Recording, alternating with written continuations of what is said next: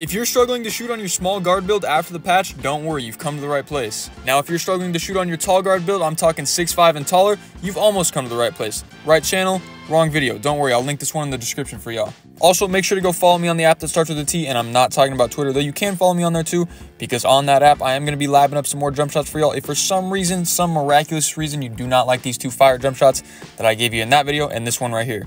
Now we all know after the recent patch that 2K dropped, shooting definitely feels different. Personally though, my percentages have gone up, especially on my small guard. On my 6'6", it took me a second to get my jump shot right, but on my 6'2", the jump shot I was using before patch is still fire. With that being said, I did make a small tweak to it just to make it feel a little bit smoother. Because with this recent patch, your shot gets sped up way more often, so it's important that your jumper is as smooth as possible. So I already made a video a few weeks ago showing you guys my jump shot before the patch, but I'm going to show you guys it again as well as my new jump shot. And like I said, they're very similar. I just made a small tweak and I figured I'd show you guys because, you know, I want y'all to be shooting as good as possible. So just do your guy a favor, drop a like on the video, sub to the channel if you're new. It doesn't cost you a cent, but it does help a fellow bro out a ton. Because y'all peep the length of this video. It is only two minutes long. Who else do you know that's dropping two minute jump shot videos that actually have two different jump shots in them?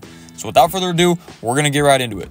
So here is my original jump shot from before the patch. Like I said earlier, this jump shot is still super good. It's still super reliable, easy to time, easy to green with. In fact, I was still using this jump shot the first full day after the patch came out and my three point percentage was still going up. But like I said earlier, I noticed that it wasn't quite as smooth before, so I made a few tweaks and this is what we're working with now. I just changed the second upper and the blending a little bit. It's still max speed. I'm still using set point and I'll freeze the video right here so y'all can see where exactly I let go of the shoot button using set point on this jump shot right here when the ball is pretty much at the top of his forehead is when I let go of the shoot button. I can't speak for any of the other release cues like jump, push, or release. But if you've already been using one of those cues, they should be pretty easy to figure out. And they honestly, in their names, they're pretty self-explanatory. So yeah, ladies and gentlemen, that's all I got for y'all today. Hopefully I was able to make you a little bit better shooter with this fire jump shot.